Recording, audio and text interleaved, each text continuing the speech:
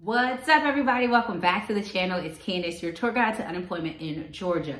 You see the title, you see the thumbnail. Let's get right into it. Okay, first things first, you still got free calls. Yep, you got free calls to the IRS and you got free calls to GDOL today. Go ahead and get on it. The link is down below. You want to go to claimyr.com and place your free call. Don't forget, you want to hold the line. It's free, okay? It, it's free. You're not paying for anything today. So make sure you go in and place your free call and hold the line, okay? Now let's get into the video. Okay, so you won your appeal. Congratulations, congratulations. You all did their job for once. Congratulations. Okay, you won your appeal. Um, now you're like, okay, well, when do I get paid? Great question. I don't know. Um, I don't think anybody knows exactly when the payment is going to drop. It's not like GDOL has like, we pay out on the 1st, we pay out on the 15th, we pay out on the 30th. It's kind of like, one day you wake up and there's a lump sum amount of cash in your bank account. It's like, oh, Christmas came early, yay, okay? Um, so it's not like a set time schedule. What I do know is like a lot of people have won their appeals, they've won their back date claims, but it's like they're still waiting for payment and they have not seen their payment process. Now, I don't have a specific date as to when you will see payment. That's not what I'm here to tell you. What I'm here to talk about is if you won your appeal, what happens in between you winning the appeal and you actually getting paid. So there's going to be an email. It's going to look just like this. Okay, so let's go over this email.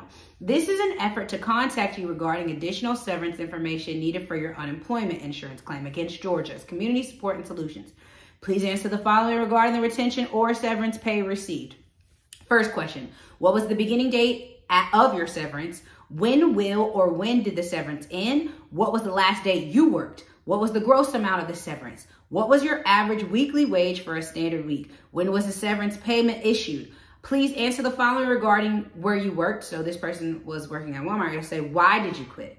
Did you give a two week notice you were quitting and when? So basically what they want to ask or what they're trying to clarify is if what you said a year and a half ago is matching what you said now, okay? They're basically like needing them a little bit more clarity. You already won your appeal. That's great. Kudos. But now they need to make sure like there's no discrepancy because the state, the government isn't just going to pay you money and not know all the T's are crossed and all the I's are dotted. They're not doing that. So it's like, it's not another way to trick you up, but it's basically to make sure your story makes sense across the board, okay? That's why I call it the appeals hangup. It's a hangup after appeals. But here's the thing.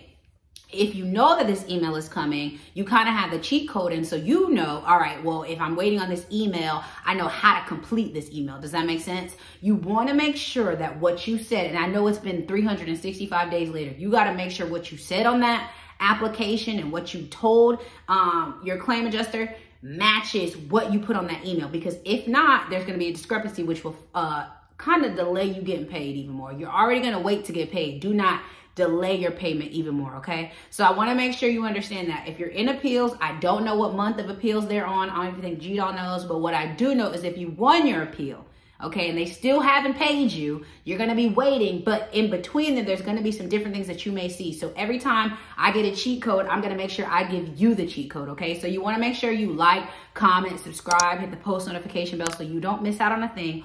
Also, do not forget, if you're looking for me, I'm in a few places. I'm at claimyr.com. I'm in our Facebook groups.